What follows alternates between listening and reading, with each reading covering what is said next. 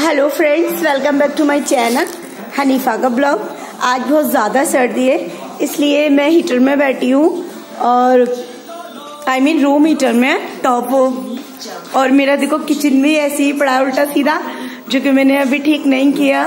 सर्दी इतनी है सर्दी की वजह से कोई सामान मतलब धोने वगैरह करने का मन नहीं चाह रहा ये देखिए वाटर कूलर वगैरह सारे पॉट्स वगैरह सब कुछ ऐसे ही रखे हैं। और चलो ये बंद कर देती है।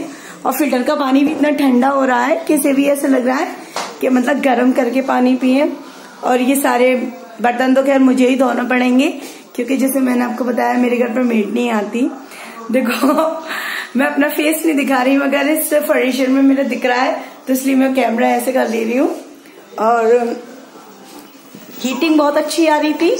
यहाँ पे बैठ के बहुत अच्छा लग रहा था। ओ मेरा कैप भी गिर गया। अच्छा वेरी बैड अब चलो दूसरे रूम में चलती हैं। यहाँ भी कितना प्यारा माहौल हो रहा है। ये देखिए, ये मिरर्स ये मैंने ऑनलाइन मंगाए थे, जो कि वॉल मिरर्स दो तीन कलर्स दो कलर्स में आते हैं। गोल्ड मैंने गोल्डन लिए और बहुत कलर में आते हैं। मैं नहीं दिखा पाऊँगी और लोग भी फैमिली के दिख रहे हैं इसमें। तो ये देखिएगा। ऐसे पिक लेते हैं बड़े प्यारे पिक आते हैं। ये देखिए मेरे वॉल्स जो आप झूठ नहीं बोलूँगी झूठ बोलना बुरा होता है ना?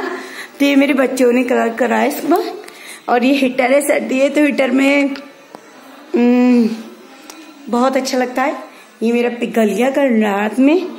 वोल्टेज ज़्यादा आ गए थे इस चक्कर से। मैं अपना रूम स्लीपर पहन लेती हूँ। ये देखिए।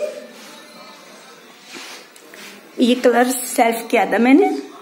और आ, मैंने भी थोड़ा सा कलर्स करा था। मेरे बच्चों ने भी इसमें करा। इसमें बीच में लाइनिंग डालने के लिए हमने इसमें टेप लगाई है।